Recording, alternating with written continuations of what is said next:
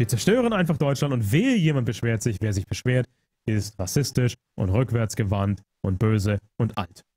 Also hier gab es dann eine, nach dem Brexit eine beispiels, beispiellose Hetzkampagne von den Massenmedien.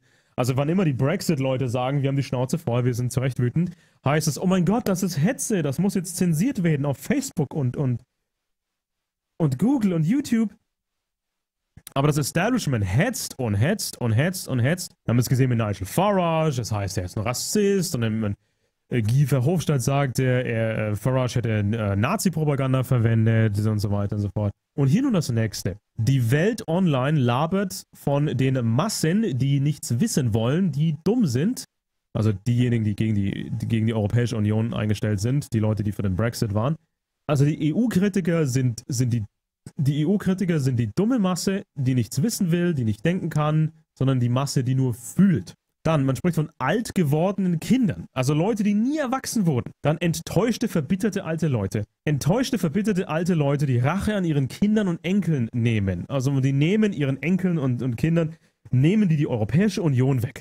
Also völliger Klassenkampf hier oder völliger Gesellschaftskampf, der hier geschürt wird, auch an den Unis. Vergessen Sie nicht, der Rekrutierungsort schlechthin für die Geheimdienste sind die Unis. Der Rekrutierungsort für andere Propaganda und für Bertelsmann und Co. Rekrutierungsgrund, äh, der, der Rekrutierungsort ähm, Nummer eins sind die Universitäten. Also wenn die Kids dann aus der Schule raus sind und von zu Hause ausziehen und nicht mehr dem Elternhaus unterworfen sind, dann werden sie in die Fänge genommen an den Unis und völlig verdreht und dann wieder ausgespuckt, in die Welt losgelassen.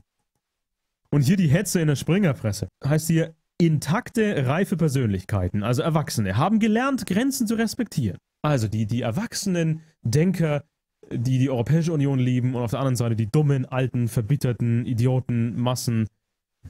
Dann haben wir hier noch James Traub vom CFR, Heads im Foreign Policy Magazine. Dass nur die geistig Normalen seinen politischen Anspr Ansichten entsprechen. Also wer so denkt wie er, sei geistig normal. Und der Rest der Leute sei verrückt, unzurechnungsfähig und wütend.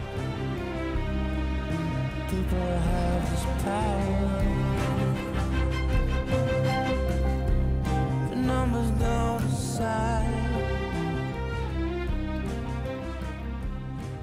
system.